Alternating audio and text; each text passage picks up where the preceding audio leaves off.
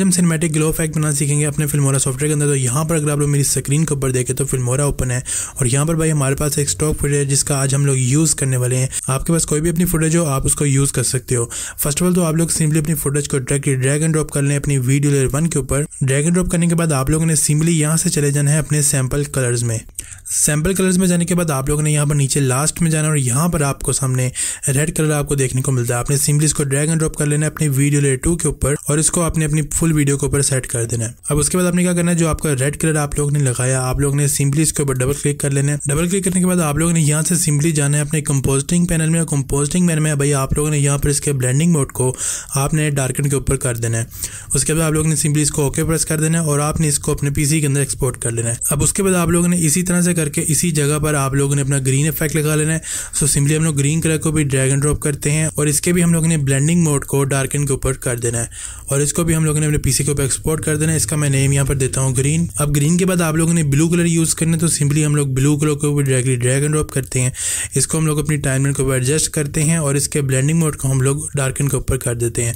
उसके बाद इसको भी एक्सपोर्ट कर लेते हैं, मैं यहाँ पर लिख लेता हूँ ब्लू सो यहाँ पर हमारी तीन फोटेजेज रेडी हो चुकी हैं. अब आप लोगों ने क्या करना है, यहाँ पर जो आपने रेडी की थी, इसको आप लोग डिलीट कर दें और आप लोगों ने अपने प्रोजेक्ट मीडिया के अंदर वो फुटेज ले आ रही है, जो कि फुटेजेस आप लोगों ने यहाँ पर रेडी की थी. तो यहाँ पर तीन फुटेजेस हमारे पास आ चुकी हैं. एक हमारी एक्चुअल फुटेज है जो कि बिल्कुल ओरिजिनल फुटेज है और बाकी फुटेज हमारी वो वाली फुटेज है जो कि अभी हम लोगों ने यहाँ पर एडिट की थी। अब यहाँ पर आप लोगों ने सबसे पहले ब्लू कलर वाले इफ़ेक्ट को पकड़ना है तो सिंपली हम लोग इसको ड्रैग एंड ड्रॉप करते हैं अपनी वीडियो लेयर वन के ऊपर।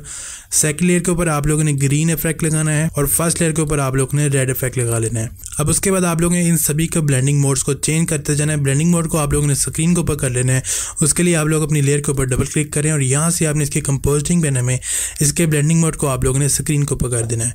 सो इसी तरह से करके आप लोगों ने अपनी बाकी लेयर्स को भी स्क्रीन के ऊपर कर देना है। अब उसके बाद भाई, यहाँ पर आपने क्या करना है? जो आपका ब्लू इफ़ेक्ट है, आपने सिंपली इसके ऊपर डबल क्लिक कर लेना है।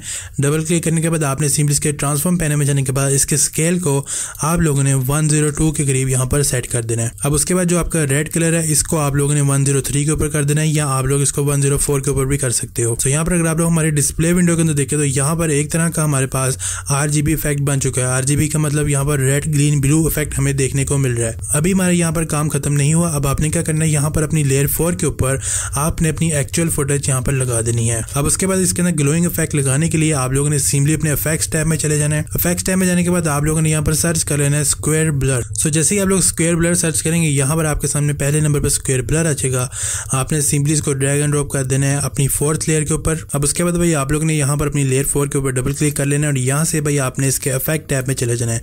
इफ़ेक्ट टैब में जो आप लोगों ने इफ़ेक्ट लगाया होगा, वो आपको यहाँ पर नज़र आ जाएगा।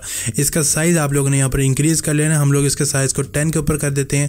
और अगर आप लोग यहाँ पर देखें तो हमारा यहाँ पर ये बिल्कुल ब्लर हो चुका है। अब हम लोगों ने इसको परफेक्ट किस तरह से करना है। इसके लिए आप लोगों ने सिंपली अपने यहाँ पर आपने कंपोजिटिंग पैनल में चले जाना है।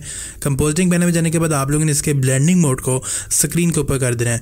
अब एक बात याद रहे कि अगर आपको यहाँ पर इसकी ग्लोइंग ज़्यादा लगती है, आप लोग समझते हैं कि जी इसकी ग्लोइंग यहाँ पर ज़्यादा आपको देखने में मिल रही है। तो आप इसकी ओपेसिटी भी यहाँ पर कम कर सकते हैं।